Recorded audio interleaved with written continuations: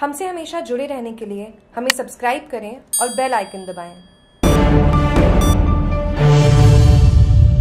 पशु एंबुलेंस की मांग को लेकर धरने पर बैठे ओम श्री पोसालिया समीपवर्ती पालड़ी एम में गजानन सेवा समिति पालड़ी एम के तत्वाधान में भूख हड़ताल पर बैठे हैं सभी धरनार्थियों को मोरली पंचायत सदस्य गोविंद दादावत ने आंदोलन का समर्थन किया, साथ ही माला पहनाकर बहुमान किया और बताया कि इस आंदोलन में किसी भी तरह की राजनीति न डालकर निस्वार्थ भाव से अपना सहयोग देवे, क्योंकि ये आंदोलन नर और नारियों के अलावा किन्नर समाज से भी जुड़ गया है, जिसका किसी भी तरह का कोई स्वार्थ नहीं है, वो केवल मानव धर्म को मानता है। अगर टोल प्रशासन अपनी इस एंबुलेंस की मांग को नहीं मानता है तो आने वाले कुछ दिनों में यह आंदोलन उग्र रूप धारण कर सकता है। साथ में ये भी बताया गया कि अगर इस आंदोलन को और सफल बनाने के लिए सिरोही शिवगंज ब्लॉक के सभी गाँव के लोगों को निस्वार्थ भाव से राजनीति न डालकर एक होना होगा, और ज़्यादा से ज़्यादा संख्या में जिला मुख्यालय आकर जन आंदोलन का हिस्सा बनना होगा, ताकि केंद्र सरकार को मजबूर होकर टोल नाके पर पशु एंबुलेंस की मांग को मानना पड़े। जागरूक टीवी के लिए पोसालिया से कल्पना माली की रिपोर्ट।